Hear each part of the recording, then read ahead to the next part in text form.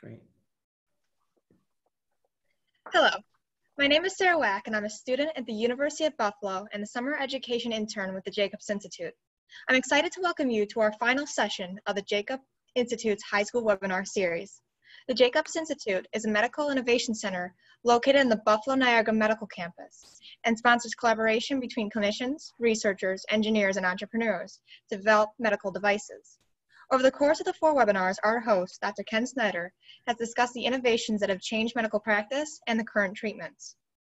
Dr. Snyder is a dual trained neurosurgeon and a part of the University of Buffalo's neurosurgery department.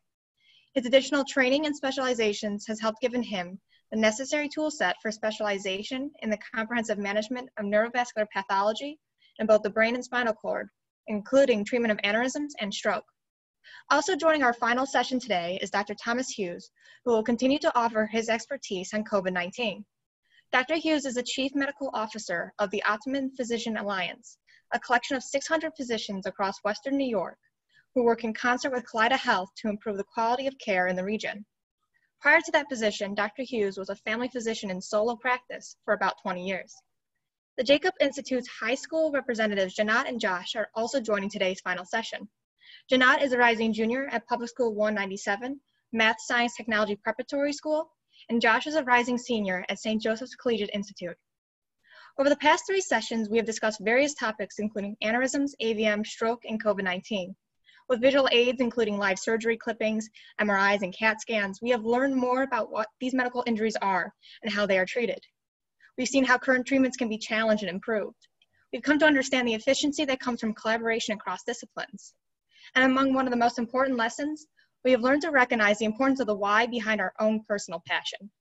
And this encourages us to question and critically think about that favorite topic as we start our own journeys of exploration regarding it. Today's session will continue to break down what science has uncovered about the intricacies of COVID-19 as Dr. Snyder and Dr. Hughes continues the discussion. At the conclusion of today's webinar, a link to a SurveyMonkey will appear, and if you missed the opportunity, the link will also be included in the automated email from Zoom that will be sent to participants tomorrow. Please complete the survey as the responses will continue to help us improve the experience for future webinars. Questions and comments are always encouraged. Please type any questions you may have in the chat box on Zoom during today's webinar.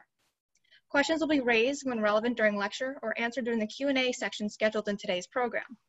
Please keep all questions and comments appropriate and respectful. Attendees are still welcome to join the Slack platform if they wish to connect with other attendees outside the webinar.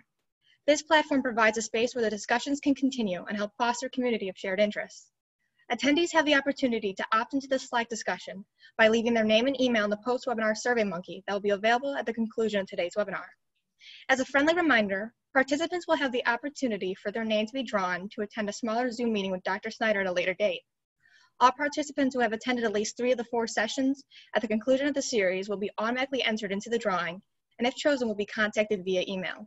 Without further ado, I present our wonderful host, Dr. Ken Snyder, and our special guest, Dr. Thomas Hughes.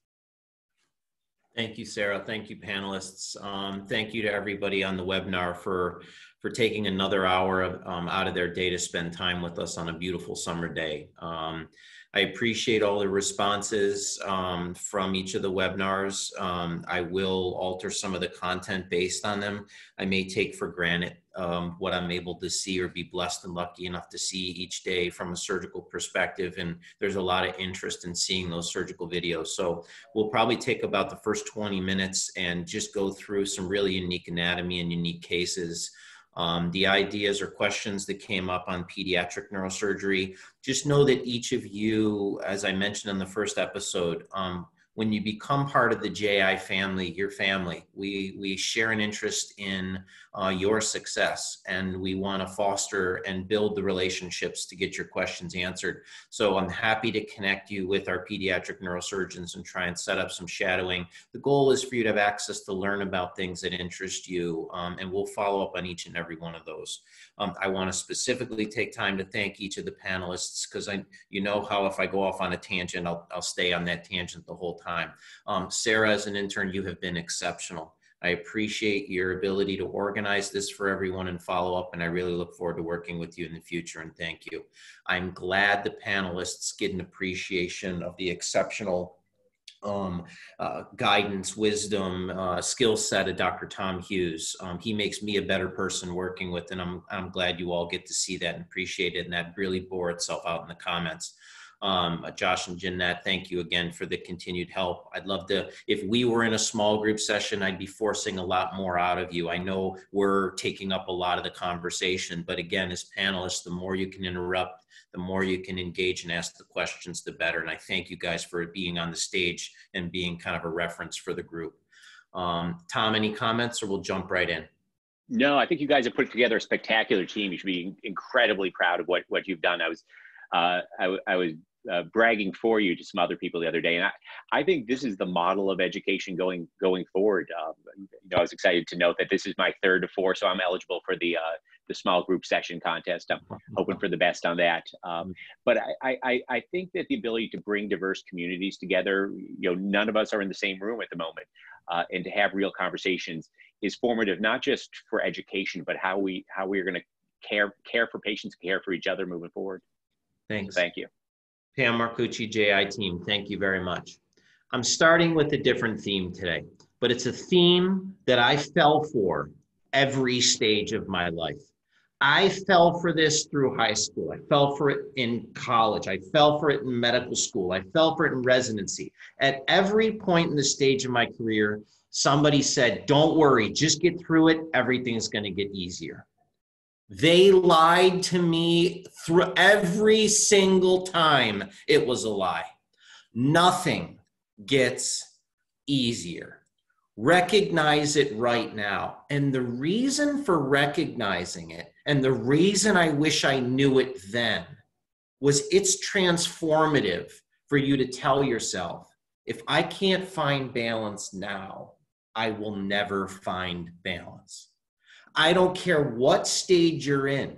All of you, for you to have taken an hour out of a summer day to spend time, you're going to all work like crazy for your lives. That's a wonderful and meaningful and fulfilling experience. You have to learn now how to balance, how to balance family, how to balance your health, how to balance other ideas and other things to learn about it is really important to be able to hyper focus and have that gear and have that throttle. But don't think I'm going to get through this hump and then everything is going to get easier. Um, Tom always helps me and has helped me as we've gone through this COVID of balancing this level of perspective. But of all the sentences I wish I had heard or realized back in high school, this is the most important one from my perspective. Tom, any comments? I, I, I couldn't agree more. I was there's the old expression with the the Navy SEALs use: "The only easy day was yesterday," um, and, and, I think it's true. But but it's also a challenge to focus how you're working hard. Uh, y- you can work medium hard at meaningless work, work, and it sucks the life out of you. You can work 16, 18, 20 hours a day at work that matters, and that that leaves you recharged. It gives you gives you more energy. Uh, I you know I think anyone who watches presentation, listen to the passion with which you describe your procedures, knows how how, how that work makes you feel. And so no, it, it the days don't get shorter. Uh, the, the the work doesn't get easier.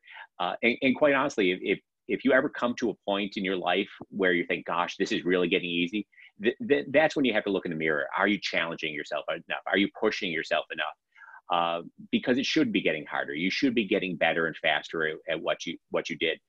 But if you if you make the right choices, you're going to find yourself down a pathway where, where that work gives you passion and and in incredibly long days uh, are going to give you meaning rather rather rather than than sucking you dry. Thanks, Tom. I'm going to transition to some. Um, there's been a lot of questions on cancer, and I feel bad I haven't been able to cover a ton of cancer. I'm going to show um, a cancer surgery next. The concepts around cancer are there's lots of checkpoints within cells such that when a cell divides or grows, it feels its neighbor next to it and it's a kind of mechanoelectrical transduction of touch that cells have and it reminds them um, to continue to work as a factory, but you don't need to grow anymore. We don't need to continue dividing. And there's something about the touch and interaction of cells that ceases that. At some point within cancer development, um, that goes wrong. And cells begin to overgrow in crowded regions or crowded areas. The inhibition of touch is no longer present. And these cells have been programmed to grow various things depending on their stage. They could be growing kidney, they could be growing a lung, they could be trying to grow a brain. Okay. And what happens is, is they will continue to try and grow that anywhere that they are in the body. If they're able to hitchhike onto a blood into the bloodstream and go somewhere and get dis, get lodged into those capillaries, those small fine capillaries where we talked about the streams, guess what they try and do over here? they try and grow whatever original organ they were growing in. And so when you think about cancer, there's really two ways to think about it. There's cancers that push on other structures because they are not from that original structure. Let's call this the brain. Let's call this the lung. When a cancer from the lung goes to the brain, it is a pushing type of cancer. It squeezes the brain as it tries to make a lung. The other type of cancer is a eating type of cancer. It, it goes through the various structure. And this often happens when the cancer comes from the organ itself. When the brain tissue becomes cancerous, it grows in a stellate fashion. It grows through all of the nerve and glial fibers that are there, and it becomes very spider web integrated. You don't have a capsule or an egg that sits there that demarcates the tissue. Does that make sense? And in any organ system you're dealing with, that's often what you're thinking about when you're thinking about how am I going to deal with this from cancer. And the interesting thing when you think about cancer is you don't necessarily think about curing it with one modality. It's how can I remove the bulk of this tumor safely with surgery? How can I get the rest of it with radiation therapy? What little bit could I leave left with hormonal therapy? And then how do I boost up the immune system to make sure that it deals with any little cells that are left? Those are the concepts that take place um, as you approach cancer in any organ that you're approaching it in. The reason I chose starting this video was this is a, a covering of the brain tumor called the meningioma. The meninges cover the brain. So this is a pushing tumor. This is not coming from the substance of the brain. And this happens to be the same exact approach we use to clip the ICA terminus aneurysm. Here's the frontal lobe, here's the temporal lobe. The tumor has already started to split the two lobes apart for us because it's a pushing tumor. It grows not into and through brain, it grows in the spaces of the brain. So this is actually the same exact approach we used. Now remember when we used the approach to clip the aneurysm, there were two really important structures the nerve to the eyes, the optic nerves and the cross, and then right below that was the carotid artery. The challenge with tumor surgery is you don't know where those are relative to the tumor. We're going to be digging down through a tumor knowing that at its base is the nerve and the carotid. You don't want to hit those. So, how do you safely debulk and stop the blood supply to a tumor that might be encasing structures around it. And so that's what I'll show you. So here, same arachnoid dissection that we made around the, um, the original aneurysm surgery. This time we're using an ultrasound that basically at high speed is mechanically breaking up the fibrous connections of this covering or meningioma. We're not as where there's always bleeding with tumors. So you see right there, what's that white structure? That's the optic nerve. We had seen it before, but we had to debulk the tumor and push the tumor out of the way to find it. We want to identify that early in the surgery so we can protect it and then come back and work on the rest of the tumor. The tumor's coming from the roof of the eye or the orbital dura right here, and that's where it's growing from. So we'll continue to now protect it. The red structure right next to the nerve is the carotid artery, as we saw earlier. So once you've got those structures, you literally protect the brain and chop out this tumor. It's a pushing tumor. We're lucky in that the brain itself can be protected, and all we need to do is safely remove as much of this thing as possible. Those yellow structures are bipolars. You burn between the two ends. Everything else here are either suctions, scissors, or that ultrasound device. And you can see this tumor actually wedged itself down between the two nerves. Do you see what I mean by it's not a infiltrative eating tumor? You can pull it from the normal structures. You can make a plane around it and pull out what's trying to grow. That's consistent anywhere um, that, that cancer grows, as long as it's not infiltrative. And so what's left is the beautiful anatomy that the that the tumor has laid out for you. Because remember, it pushes on everything else. So, what used to be a hard corridor to dissect the frontal lobe off the temporal lobe, guess what? The tumor did all that work for you. You're looking right at the carotid artery, the PCOM, and um, uh, the anterior choroidal, the middle cerebral, and the anterior cerebral, right here splayed out before your eyes, which is just beautiful, beautiful anatomy. Um, so, that's a tumor surgery. This next surgery um, is one of our most intricate surgeries. It's called a bypass. So what you're looking at here is this is the back of the spinal cord. What you're looking at here are the cerebellum or the back of the head. So we're working in the back. This is where the spinal brain stem comes down to spinal cord. These are called the PICA uh, blood vessels. They're less than one millimeter in size. So these are sub one millimeter blood vessels there's an aneurysm coming up leading to this that's going to require us to sacrifice the blood vessel proximal.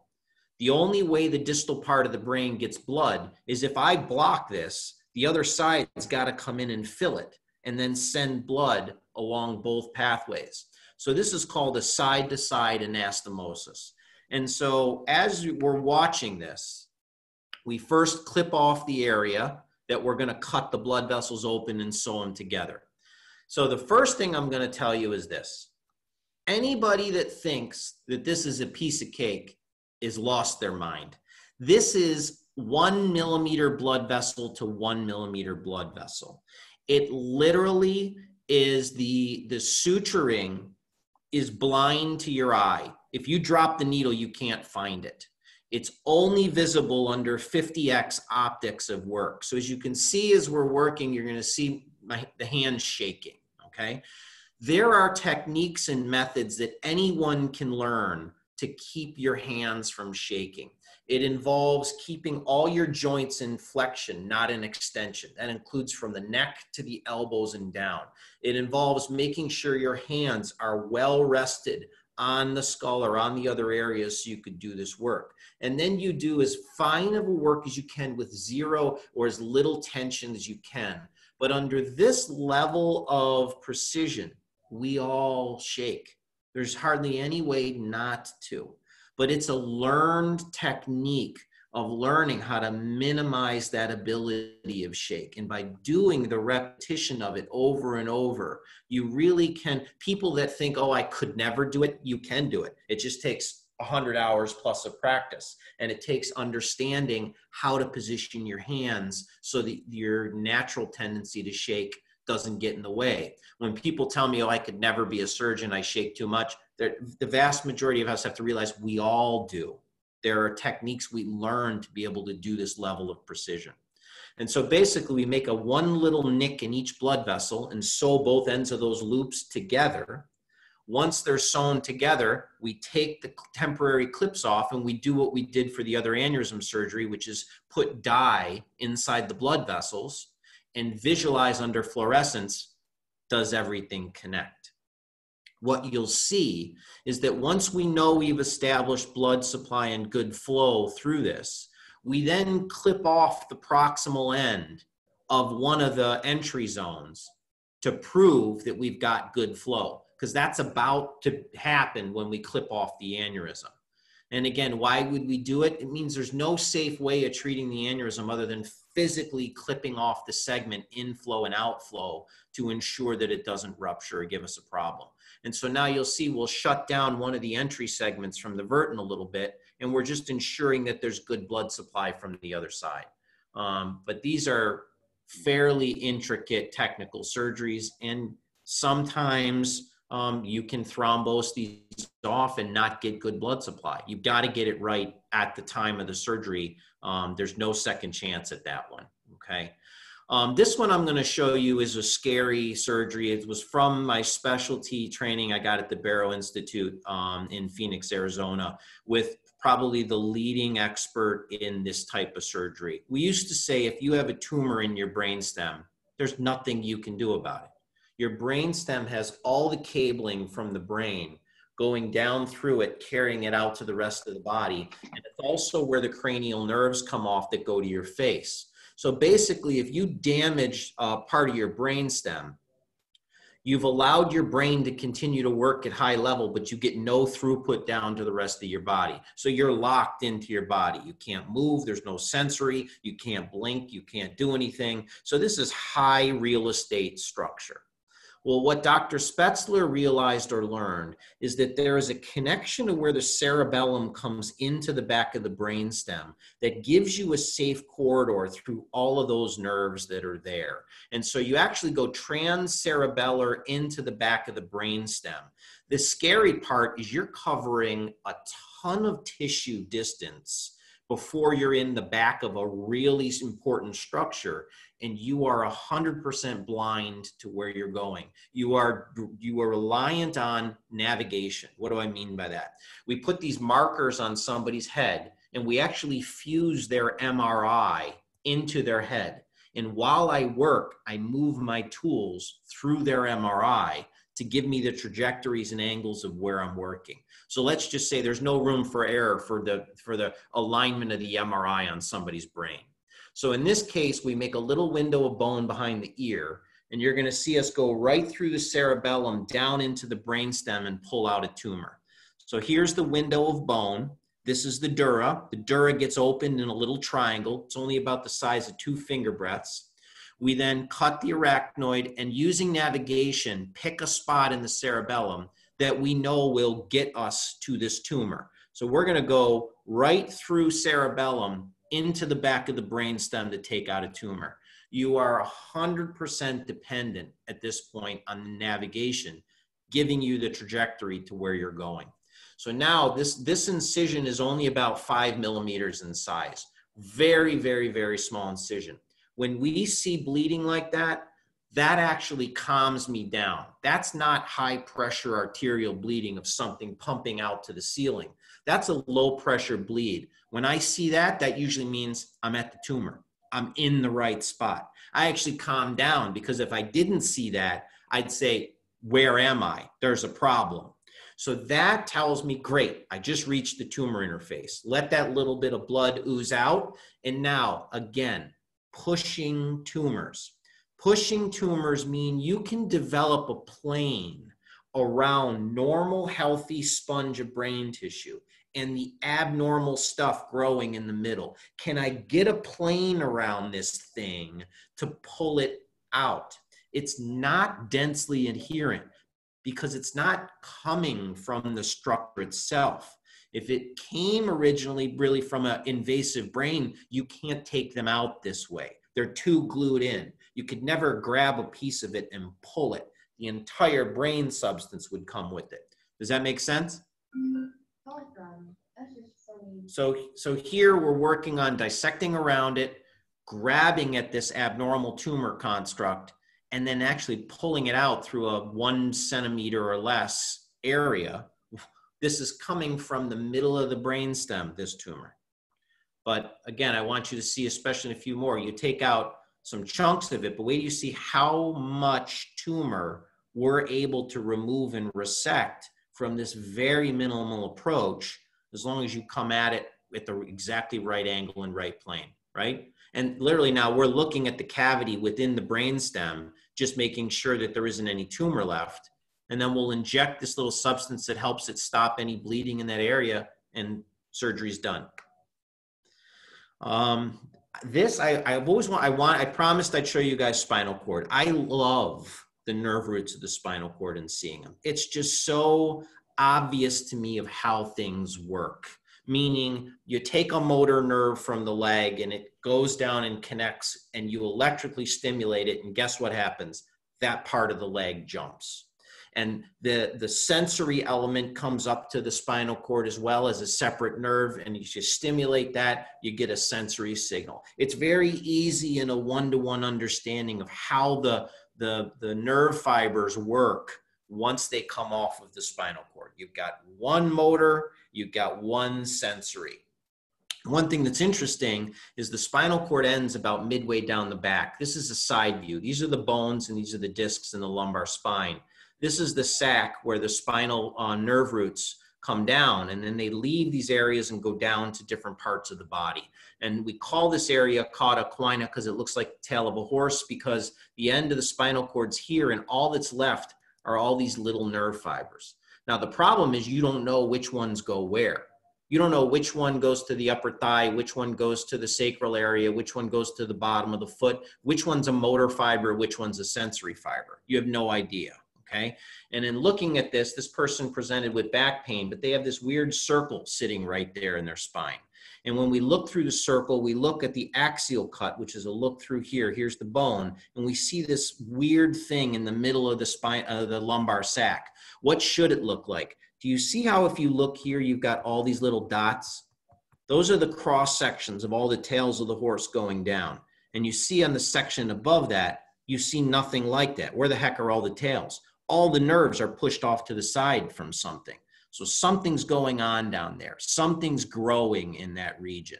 And that's when surgeons get involved.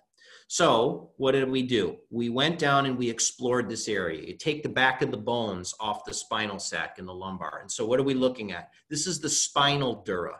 Just like there's a hard covering of the brain that keeps spinal fluid in, there's a hard covering of the spinal sac. In fact, they're connected to one another. And so we think that there's something going on in that sac. So you can put an ultrasound down to find it. And then what do you do? Open up the sac. So then we open up the dura. And here's the tails of the horse. These are all the nerve roots going down to the leg. And you can see they're kind of bulged out a little bit here. You also see that there's wispy fibers around it. It's arachnoid, just like there is in the brain. It's the same exact structures in a different area. So we cut those wispy arachnoids away, and then here are all of my nerve fibers right there. And underneath it, you start to see this abnormal structure bulging out, right? So then we actually go in and slide the nerve roots out of the way and lift that structure out. And that structure is a tumor. And it's a tumor coming from nerve roots. Now becomes the problem. I don't know if this is a motor nerve root or a sensory nerve root. If it's a motor nerve root and I cut it, guess what? The motor function will stop working. Somebody's knee may no longer flex. Okay. So, how can I figure this out? I actually put electrodes on the legs and I take a stimulator and I stimulate the nerve. And if the leg jumps, I know I've got a motor nerve. And if I do, I've got to take this and de-shell it and leave as much of the nerve intact as I can while I remove the bulk of this tumor. If it's a sensory nerve, snip, snip, I just take it right out. Somebody could live with a little bit of numbness by their knee rather than have the tumor grow. Does that make sense? So it's a really cool surgery because there's direct one-to-one anatomy to physiology that you see from the electricity. So we lucked out that this was a sensory nerve and I snipped it and cut it right out. And when you take that, there were a couple nerves that were pasted into the side of it that I needed to try and dissect away from. Um, once I had it dissected, and it usually comes from only one root, you cut that out, you cut it open. It was cystic in nature, which we saw, and no pain. And that is a curative procedure for a very benign nerve sheath tumor called a schwannoma. Um, so again, I, I wanted to, we're somewhat right on time. I wanted to take the first half of it because there were so many comments on um, visualization of surgeries and just show you guys some different stuff of what we do. Any questions related to that before we kick into um, COVID? Yes, we have two questions. Um, so the first question is, uh, we were talking about like removing so many different tumors. Like, which one would you consider like the hardest to remove? Like the pushing tumor, the spider web tumor? Yeah. Is there one that's really, really hard compared yeah. to the others? Yeah. So sadly, it's a very easy answer there's something called GBM, which is called glioblastoma multiforme. it is um, you can stage different aggressiveness of tumors um, one being the least aggressive four being the most aggressive right? The most aggressive brain tumor which is where the substance of the brain it isn't the nerves. There's something called glia or the glue. It's the stuff that keeps the nerves healthy. It's the stuff that wraps around the nerves to make sure that they fire with good speed. The glia the glia grows into a tumor every bit of the substance of the brain is the tumor. If you take a 70 year old man, God forbid, even with, with COVID, all right, a 70 year old with bad COPD, bad heart disease, other issues right there, and you take a 20 year old kid with GBM, and sadly, no matter what I do, that kid is dead in a year. GBM is a prognosis no matter what I do. If I do 90% resection of the tumor and chemotherapy and radiation, it is only a rare few individual that I've been able to keep alive for 15 years or more. The vast majority die within a year's time frame of the diagnosis. That is one of the most important areas of, of cancer research for us as neurosurgeons of any kind. It is unfortunately a lethal cancer. And it's unfortunately also the most prevalent of the cancers that there are primary. The most prevalent is metastases to the brain from other areas of the body. But GBM is an area of research we need to really focus on. We've injected viruses into it. Uh, we, we, we continue to do all kinds of different things to try and slow this cancer down. Uh, could you say what GBM stands for again? Glioblastoma multiforme. But if you did a Google search for GBM neuro, you'd see the term and the technology. It's a glial based tumor that's fairly aggressive. Why is it difficult? It's always further than where you see it to be further. Surgery is done by visual or tactile. By the time tissues become very abnormal that you can feel it, the cells are probably already abnormal way ahead of you. And unfortunately, this tumor divides at such a high rate, sometimes 30, 40%, which means thir- one third of it might be already duplicating at any point in time. Um, that we can't seem to get ahead of it with surgery, chemo, and radiation. Uh, we have another question um, involving tumors. If the tumor is deeper in the middle of the brain, will the long term effects be worse or will the surgery be more difficult? You just asked one of the most important questions we as surgeons have to ask ourselves before we do any procedure at all. It comes back to my question about natural history.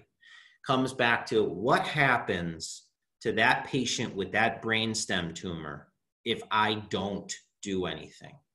And if, if they tell me they've felt like this for the past five years and nothing's gotten worse, I'm not jumping into their brainstem to do a surgery.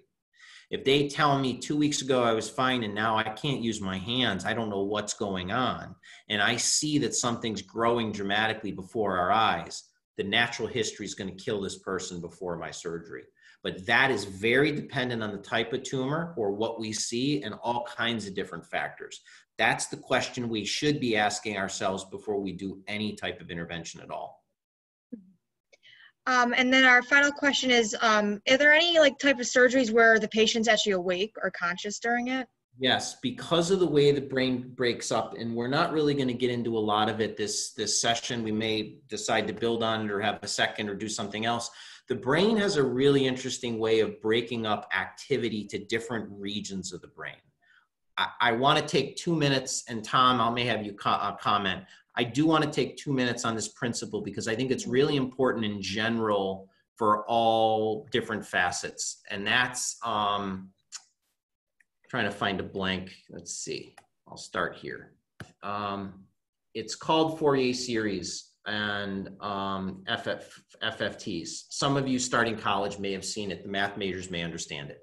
When you play a chord of music, you hit three notes, let's say each of the notes has a pitch and each of the notes has an amplitude or an intensity of how hard you hit it. Okay. And whenever you play them, we're used to seeing music, or if you ever watch an oscillator of music, music comes across as these waves. Okay. There's a, and that, that's then in a amplitude and time. There's another way of looking at music, and it's called looking at it um, from a Fourier transform or in a frequency space. And what the chord looks like in frequency space is this. There's three notes, call it a C, an E, and a G, each played with a certain level of intensity, but this might be middle C. The next octave up might be the C beyond that. The really low C would be here, the higher up there. And you can take a series of frequency space and actually make a very complex wave represented in a very simple fashion. And there's a lot of mathematics that can be done. There's a lot of easier interpretation and electrical signaling that can be done. But what Fourier said, which was unique, was that I can take any complex wave there is and make it a series of pure frequencies and put them together to make the complex form. The reason I'm taking all the time for this, that's kind of how the brain works. The brain takes these very complex overlaid time-based tasks and it puts the activity into different specific regions of the brain that combined make these complex activities. Language has a very focal center in it that responds to receptive language. It has a very focal center response to repetition, a very focal area that responds to expressive language. My point around that is these are regions, actually focal regions of the brain. It actually gets as explicit as that's how our hearing organ is built. It takes these waves and it actually breaks them down into frequency space in our ear. Covering too much. Let me come back to your question. When I have a tumor in one of these really important regions, I wake somebody up. And when I'm operating on them in this region, I ask them questions. I make them answer things. I make them visually compose with language because that way, as I'm resecting the tumor, I can ensure there isn't a problem in these regions. And I do it first by stimulating, shocking it with an electrical wave. If they stop talking when I stimulate a region, don't take the tumor out from there. Problem if there's tumor there, the tumor may stop the language at some point. But it means I have to think of a different modality. Cutting is not going to help them. Maybe radiation, maybe chemotherapy. Okay, thank you for the clarification. Yeah. Any other questions? Uh, no, not at this time. Tom, any thoughts before we jump into COVID? Any other context? So a, a, a couple of things. Um, one, one of them I want to follow on is, is, is, is the very nice example you, you gave there and sort of these parallel functions ac- across the brain. Uh, you know, and one, one of the thoughts that always sticks with me, and I apologize if I'm getting my neuroanatomy wrong. It's been been a while, uh, but you know, there, there's a part of the there's a very part of distinct part of the brain that will will interfere with your ability to to to enunciate. And you have Broca's aphasia. Uh, there is a completely separate area of the brain that will do the exact same thing for music, and you have Broca's amusica. Uh, and it, to to an outside observer, to me, you know, there's this very very fine line between where you're speaking and where you're singing. But your brain has done such a meticulous job over time with evolution of of, of equipping the you know in, in manufacturing we call them focused factories and these very specific skill sets around it. Uh, so I, I, I just think it's part of the, the miracle that is the brain. Uh, but the, the one thing I wanted to follow on and sort of be curious what your input is, is obviously these surgical techniques are masterful. You know, the, the, the stuff we're looking at here was inconceivable a, a, a generation ago. Uh, and I think you did an excellent job of, of, of, talking about how people can learn things about shaking and whatnot. So I guess the question is, which is more, which is a more difficult skill to develop? The ability to do the procedure or the judgment to decide when the procedure needs to be done? Yeah. I think you can't be a good doctor without either. And I think we both know examples of people that have one skill or the other skill. I think the reason that we work better in teams or groups is we ensure that if someone is a great technician, we need to help them with the decision making of the cases that they do. One thing the audience may not know um, we as academic neurosurgeons, every one of our cases are reviewed by all of my peers. Everything that I do, my collective peers know about and watch. That's a really healthy thing. When my colleagues see Dr. Snyder have four or five complications of a similar procedure, guess who has a conversation right away? What's going on with this case? Why did these people not do well? Not having that friendly collegial look at your outcomes can really be scary sometimes if you were working independently and didn't have that. If you didn't have someone keeping an eye on how you were deciding and how your patients were turning out. So, um, the answer to the question is it's a constant work of progress. None of them are easy or not easy. They both feed off of each other. And unfortunately, we learn from every one of our complications. The beauty of the type of collegiality we have is we want to make sure if I learn something that my colleague has learned it and hasn't made the same mistake. And that's how our group of 20 neurosurgeons practices. Not every group does that. There are people that won't share their cases and stay in isolation. Those aren't the type of people I'd refer my family members to. Um, it, sent, it's, a, it's a culture of excellence, though. I know. I sent the group a very important TED talk on um, uh, on functional MRI. You can feed the, the body sugar with a little substance on it that shows up in an MRI machine, and you can perform a task under the MRI. And what happens in the MRI is parts of the brain light up. They're eating more sugar. They're active. And so if you ask someone in an MRI repeatedly, tap your finger, tap your finger, guess what you get a picture of in the brain? The area responsible for them tapping their finger. Okay. They did the coolest experiment. They had a teacher or tell a story while they were in the MRI. And then they had listeners sit in the MRI and do nothing but listen. And guess what happened? the same parts of the brain that the storyteller was lighting up as they were telling the story were lighting up in the listener. When we talk about how stories allow us to resonate, there is a reality to that. The visual imaging, the other things that come out in the story, we are actively doing it. When people say, I'm going to imagine myself practicing, there's a reality to that. There's an there's a neural network that's working as you're doing that. Um, that's important. And again, that's how we learned about all these regions we're talking about. How when someone speaks, we know where it is uniquely in them because that part of the brain lights up in a functional MRI. Um, with about 20 minutes, there's and we have plenty of time to cover it. I want to just carry on from some of the um, COVID conversation. The access that we had to our friend and partner in New York gave us some exquisite glimpses in the reality how fast this disease progressed for them. These orange dots are people, and they're people that had COVID. And every one of these orange dots at this date were people on a regular floor. They had no one that needed ICU care. Within three weeks, they had 300 COVID patients, all requiring intensive care unit care. Every one of the beds in the hospital got flipped to ICU. They were no longer even accepting the people that had mild symptoms that needed to come in. Their entire hospital became a critical care facility. Um, I have another, he was actually my co fellow from Buffalo, uh, Jay Mocco, who published a New England Journal paper on very strange things that he was seeing with stroke. First of all, he was seeing a lot of young people coming in from stroke. But what was odd was I had showed you guys last presentation how when we take out a chunk of clot, glorified plumbing, the pipe opens up and there's great flow to the brain. What Jay said was four out of four cases, I pulled out chunks of clot and the blood vessels clotted right off again before my eyes. I watched them reclot and reform. I'd go up and take a clot out, they'd reclot again. And that's very strange.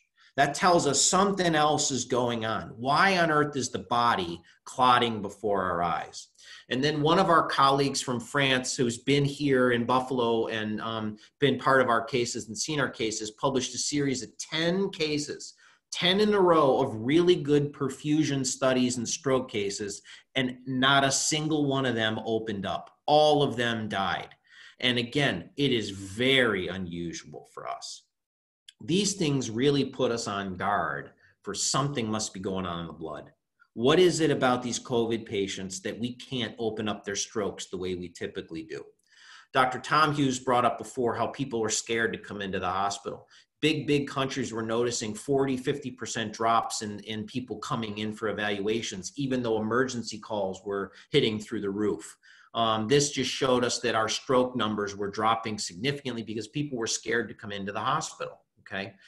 Here's another interesting thing. When people were getting COVID, they weren't just getting strokes in the brain, they were getting strokes throughout their body. 30% of the severely ill patients threw blood clots into their legs, into their heart, and had heart attacks. So realize the same process of a clot breaking down or blocking an artery occurs anywhere in the body and just causes different things. So, what could this all mean? Why were young people having these persistent strokes or clots that were difficult? Why are there clots forming throughout the body? What could this mean about COVID? Around the same time, we were seeing people were doing autos- autos- autopsies and finding clots everywhere. So, how does coronavirus replicate? The virus is just a little soap bubble with sticky ends, the spike proteins, and inside of it is RNA. It's just like our DNA code, RNA is slightly different in terms of the, um, um, the structures that are used to build it by one sequence, but it's nothing but genetic code in a bubble.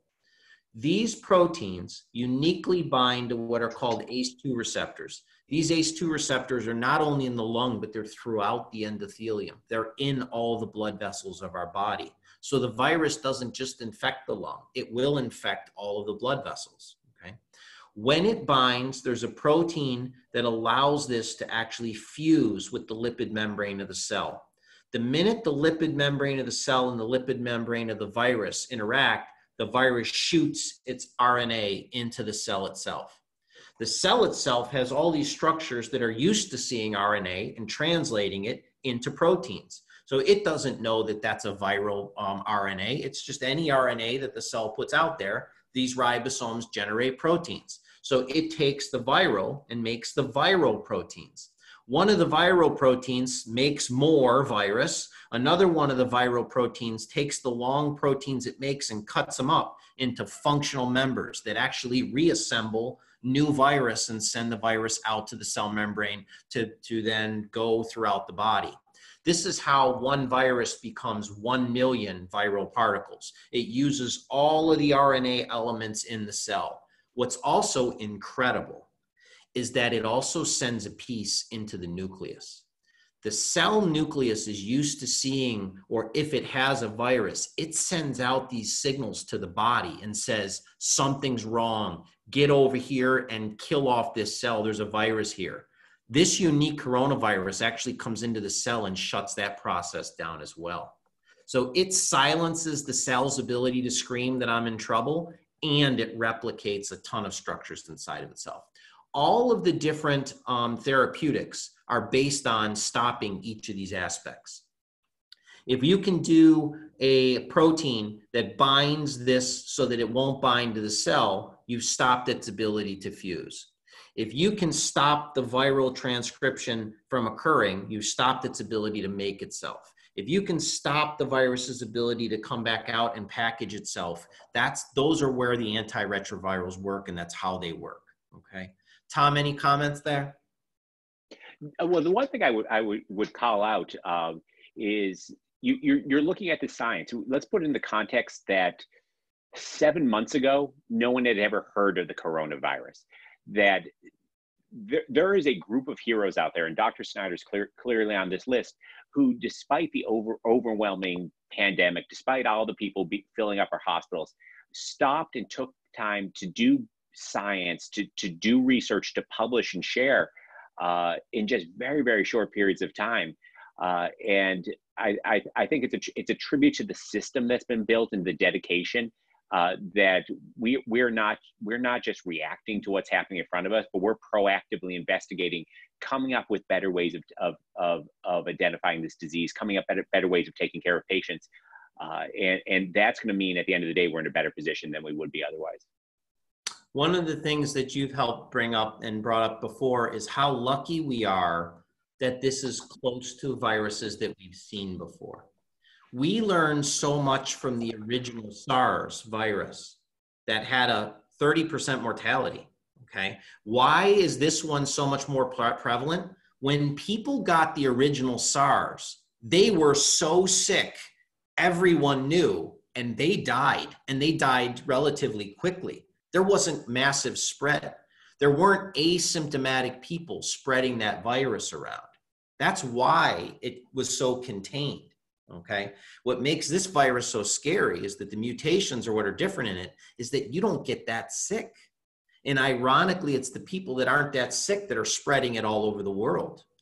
But with that original SARS, we learned its mechanism.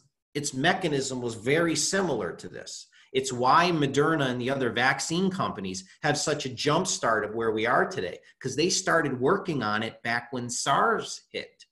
So we are very lucky that what we're seeing right now is a variant of what we've seen in the past as well. Um, interesting things about our immune response. When the virus comes in and infects this cell, again, what's interesting normally is that this cell tells the neighboring cells, hey, there's a virus here, slow down your production, don't let the virus pick up. The virus shuts that mechanism down.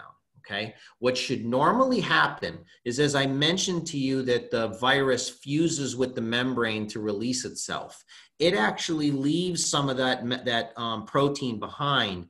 That's when the body says, something's wrong on the surface of this cell. This isn't me. There's abnormal stuff here. And that's when your immune response comes in generates antibodies, kills off these cells that are making the viruses. Your body literally destroys the cells that make the virus to kill the virus. It doesn't allow it to replicate. That's how we kill this off. The reason people are left with lung scarring and injury is because of that. Okay.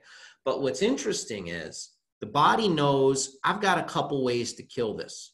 I've got sharpshooters.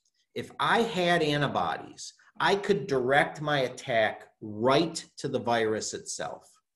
It also has these tanks and artilleries of T cells that are actually able to come in and blast regions of cells and areas while it's learning about the virus.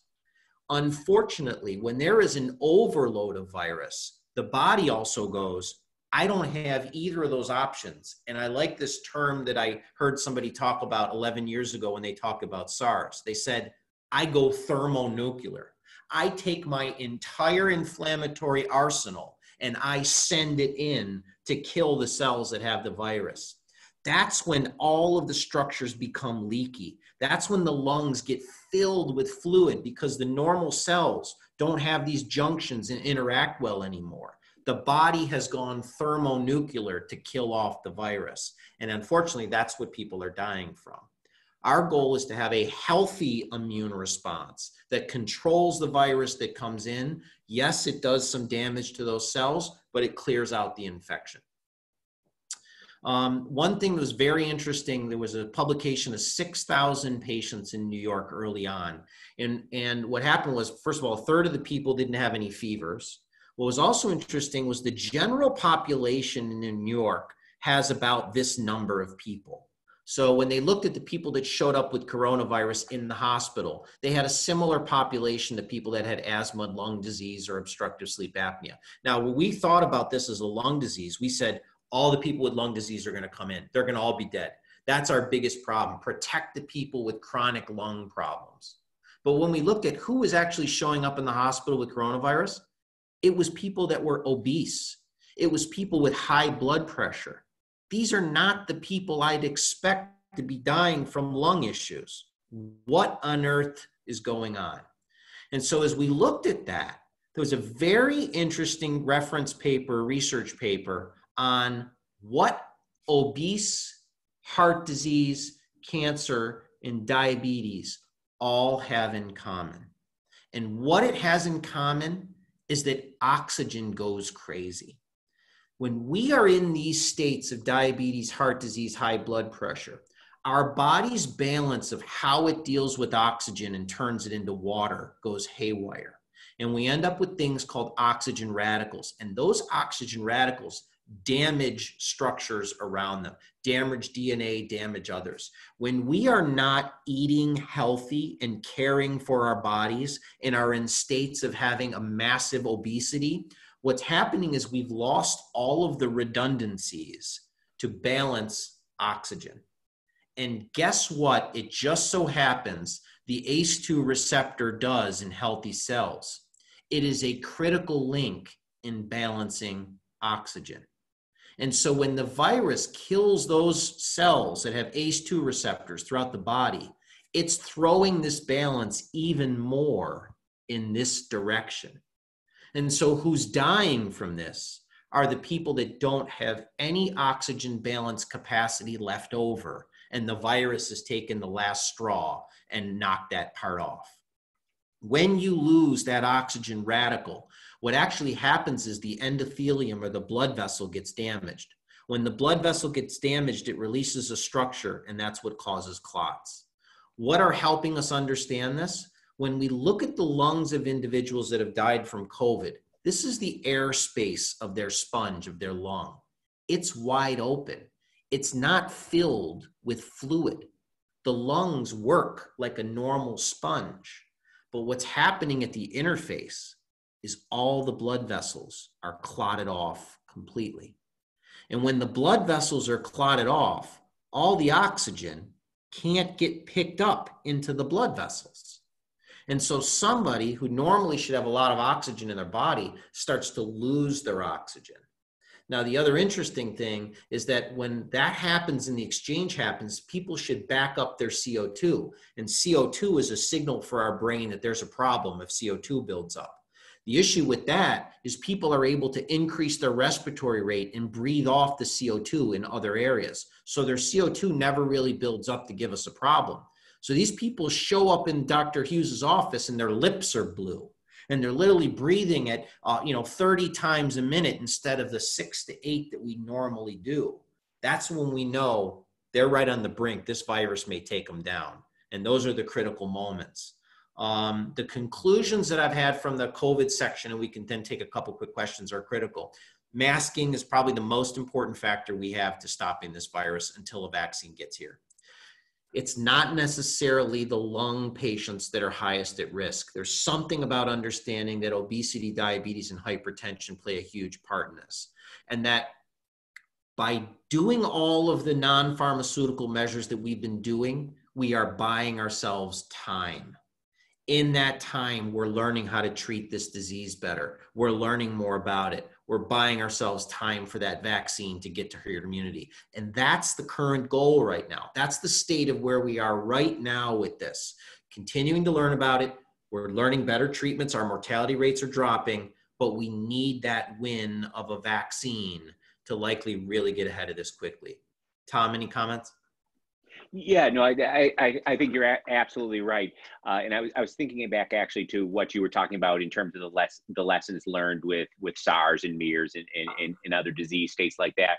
And I, I think it's incredibly important to recognize that there are a group of people who clearly learned from that. The uh, the you know the scientists learned, the researcher learned, and when when this came, they'd already written the book. They could pull it off the shelf and start adding chapters to it the people who didn't seem to learn in a structural way are the policy people.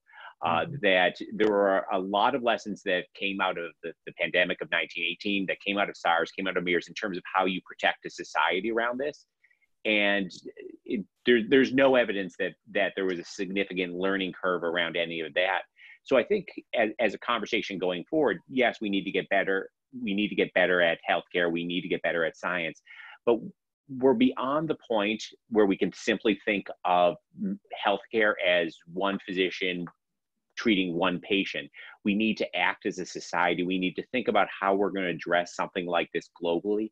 Uh, you know, I, I am struck by the fact that this virus didn't exist six months ago, and, and it has reshaped the entire world uh, we need to be prepared collectively to, to, to offer a societal response, or we're going to keep coming back to scenarios where we're relying on the scientists, we're relying on doctors like Dr. Snyder to, to, uh, to, to rush into the breach and find us solutions.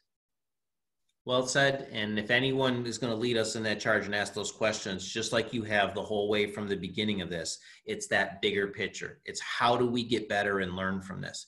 How do we prevent the next one that may not have a 1% mortality, but has a 40% mortality and maybe doesn't spread what we think is fast like this. No, the measles spreads fast. Imagine it truly is a small particulate spread that stays in the air for 30 minutes and anyone can get it and it's lethal questions you're asking are going to help us prepare and catch and, and protect ourselves for those moments. And again, if you play the numbers, it will happen. It's a matter of time, which is why so many people were prescient in predicting that this would occur at some point. Sarah, any any final questions or comments from the group? And again, if there are, well, I know Dr. Hughes has been is wonderful. We'll take any questions as well offline and help follow up with anybody if they have them. Mm -hmm. We have a we have a few different questions. Um, there's a question about like the relationship between COVID-19 and stroke. Um, if you have like a more serious case of COVID-19, are you at a higher risk for stroke or how does that relationship really working? So I, I, the way I think about it is I come back to that one slide that showed one third of the people with severe COVID had clots throughout their body, right? And so if one third of the people that have COVID severely are showing big clots. These aren't micro clots. These are people that have giant clots in major arteries of their blood vessels. We know that they've got to be related somehow. Okay. And again, my thought process on it is that they're related because the etiology of how the virus works works by shutting down the small blood vessels. And that then can propagate to give us further problems. Um, it's also related to the immune response that the body puts out to fight this virus.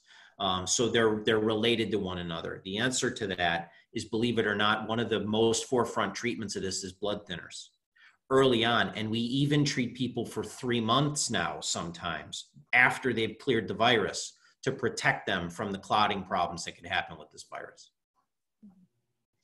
Uh, we also have a question regarding the vaccine. Um, is the idea of the vaccine is it's you were talking earlier about like the cells are not being able to cry for help anymore. Is the vaccine supposed to be kind of be helping with that particular part of this problem? So if we had antibodies and think of them like the sharpshooters the antibodies could be circulating in the body so that when they see the elements of the spike protein that are on the infective virus the antibodies can form a link so that those can no longer bind with the cells, or when they see the messengers of those spikes on cells, they can selectively kill those off so that the virus can't use its machinery to replicate. It's got two ways that it works it stops the binding and it kills off any cells that have seen it. When you don't have that response ready, it takes time to build it. It can take two, three weeks for your body to learn how to develop that response. During that two, three weeks, the virus runs rampant. And that's why people can get so sick. So when you have antibodies, it's a way of speeding up, it's amplifying your body's immune response, hyper focused on what it needs to kill off. And again, that's how vaccines work. Um, and so um, again, offline, we could talk about the uniqueness of Moderna's vaccine to compared to others, but in any of the vaccines that we're developing, what you're doing is you're trying to get the body to generate an immune response so that it's ready to attack when it needs to. So here's a simple example. They infect chickens with the virus, chicken eggs. They then kill off the chicken egg at some point, which now has millions and millions and millions of active viruses within them. They kill all the viruses so the viruses are dead. They then inject that virus into the body dead so it can't infect somebody. The immune response looks at the dead virus and learns how to attack it. It learns how to build immune, uh, immune response. It's safe because the virus is dead and can't interact. But that's how the body builds its antibodies so that if it ever sees the live virus, it's ready to go. And that's the classic method of what we call an inactivated vaccine. It's basically a dead virus that you're training, then your body's learning how to kill. Um, would you be able to offer a little more clarification on the relationship between obesity and SARS? Yeah, the it, it's a complex cascade of what we call redox reduction potentials. There are enzymes superoxide dismutase, glutathione reductase, doesn't matter. There are tools that your body has in place that it uses to capture any of these oxygen species that are acting irregularly or highly reactive. When you are morbidly obese, you do not have optimal function of those enzymes. And so that very reactive oxygen is allowed to bounce around in the body and damage, cause all kinds of damage to all kinds of tissue structures. We know that that's present in the morbidly obese individuals. Um, and then we've just also had a lot of general questions about like careers and medicine and things like that. Are these questions that could be brought to you offline? Please. And Dr. Tom Hughes is exceptional as a mentor for that as well. I think collectively, um, you know, some of the questions that came through before, it doesn't matter where your passion is. There is no, you've got to do this and take this course and get here to get there really get rid of that mentality. That doesn't mean that you don't need organic chemistry, right? There's core courses you have to take. And as long as your guidance counselors know, you know, tell you're on that right path, don't think there's anything else anybody looks for. Let the other parts outside that core be filled with your passions. I guarantee you, if you're passionate about it, it will feed back to whatever you end up doing in the right way. So don't worry about what course do I have to take to get in cover the core courses and let your passion drive everything else. Um, thank you so much uh, for being a host uh, for this webinar series. The attendees have enjoyed this immensely. It's been such a great experience. Uh, thank you, Dr. Hughes, for joining us as well and offering your expertise on all these topics. Um, just a reminder that at the conclusion of this webinar, the SurveyMonkey link will appear. If the attendees could fill out the SurveyMonkey to kind of give us more feedback in order to improve like future webinars as well. Um, but thank you so much, Dr. Snyder and Dr. Hughes, um, for lending us your expertise today. Dr. Tom Hughes and I look forward to meeting each of you at the JI at some point in the future. Um, I'd love to see you guys doing some hands-on testing on the machines and the flow models. Um, and uh, again, Tom, thank you for joining me. You add an incredible, um, you, you, take the, the webinar to a whole nother level having you on it. So I appreciate you. No, Ken, I appreciate it. I, I, I learned stuff just being here.